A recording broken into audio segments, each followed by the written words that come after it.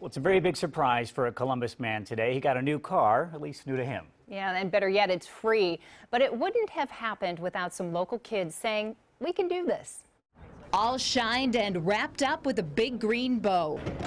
This car is ready for its new owner. Congrats, big guy. Richard Fountain is driving home in this minivan thanks to students at Fort Hayes Career Center. When we started, we were pl did plastic repair on the bumper, repainted the hood. Cameron Miller, along with all the juniors and seniors in the Fort Hayes Auto Body class, fixed up this 2008 Dodge Caravan. State Farm donated the minivan and the kids got to work. With some elbow grease, they refurbished the van inside and out to give to a veteran. It's special. It's different. This is going out to help someone. This is going to be donated to someone who needs it.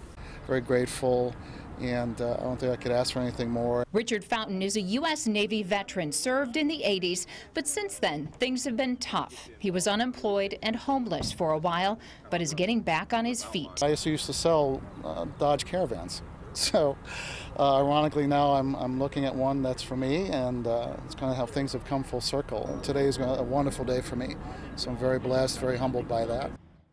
Now, for the past several weeks, the students at Fort Hayes have worked to repaint the minivan, touch up the interior, bring it up to industry standards. This is part of the Recycled Rides program. And interesting and special, too, this Fort Hayes has a long history as a military base. They noted that they were giving this to a veteran and made it a little, little extra special. Great, great story.